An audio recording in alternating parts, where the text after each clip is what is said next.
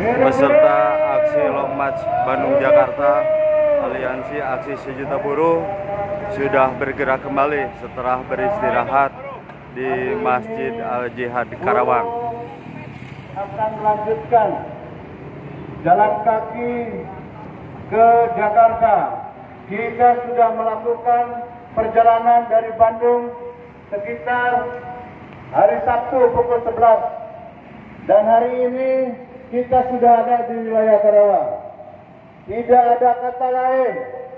Kita semua kaum buruh yang mewakili yang ada di Jawa Barat, kita akan menuju gedung DPR RI Jakarta.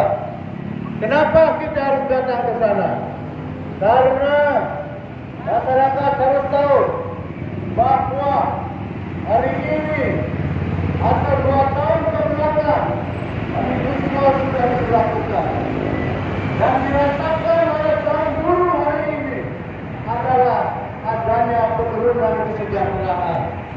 अपना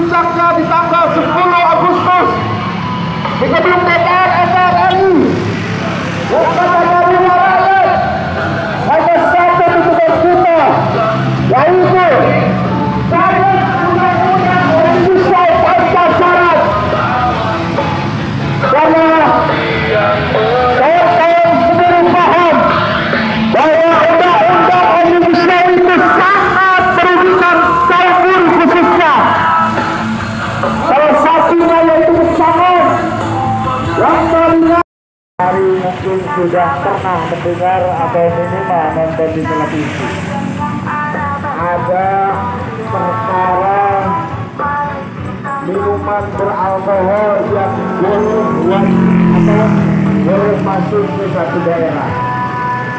Meskipun yang itu program yang akhirnya perpresnya dicabut tapi harus ingat hanya perpres yang dicabut belum dicabut banyak juga persengketaan tentang tanah banyak juga tentang penguasaan tanah oleh wakaf asing tentang perizinan tentang pengurusan surat-surat tanah dan permasalahan lainnya. Kenapa sekarang ini masyarakat begitu dipersulit Pemicunya adalah Undang-Undang Nomor 11 Tahun 2020 tentang Cipta Kerja. Di dalam undang-undang tersebut bukan hanya kepentingan buruh atau buruh yang terkena PHK atau serikat pekerja serikat buruh yang terkena PHK. Tetapi Undang-Undang Nomor 11 sudah tidak ada lagi. Undang-Undang Nomor 11 PHK bisa dilakukan kapan saja oleh pengusaha. Adapun muncul kerugian kalau ternyata PHK-nya ditolak oleh buruh yang bersangkutan. Yang kedua, tentang kita berikan aplaus kepada kawan-kawan Bekasi yang telah menyambut para pimpinan kita yang sudah menjalankan agenda aslinya dari tanggal 6 dimulai dari Gedung Sampai Bandung dari hari ketiga ini kita memasuki wilayah